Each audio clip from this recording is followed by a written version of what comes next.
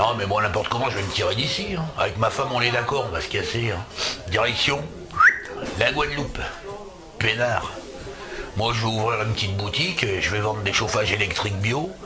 Et puis elle, ma femme, elle bricole. Elle fabrique des moufles, des écharpes, des bonnets en laine et tout ça, tricoté main. hein. Non, pédard, puis on ira faire du ski le week-end, les gamins feront de la luge, tranquille. Un petit chalet bien confortable, et puis hop, vogue la galère. Non, mais je crois qu'il y a un moment dans la vie, il faut savoir être réaliste. Il y a un moment, les gars, dans la vie, il faut savoir se mettre au frais. Tiens, dis donc, Cathy, en parlant de ça, là, tu me refais le plein de kérosène, t'es gentil avant que je décolle